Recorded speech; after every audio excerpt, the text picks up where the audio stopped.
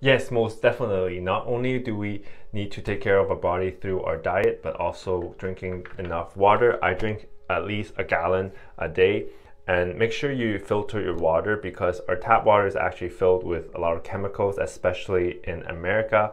I like to drink hydrogen water because the hydrogen molecule in it helps the antioxidants and also make sure you take care of your gut. So if you don't take care of your gut, your immune system is actually won't be as good because 90% of your immune system is in our gut. So if you want to make sure you're taking care of your gut, check out the free guide that I have on my main profile. Click the link and you'll see a free guide that can help you guide you through to take care of your gut. Also a cookbook that you can start implementing on a regular basis to eat healthy for your gut, not just for your normal health but our gut because our gut controls our immune system our happy hormone and our fat gain so if you want to improve in those three areas highly definitely check out that free guide i have in my main profile and click the link. I hope this helped you out and make sure you check out the free guide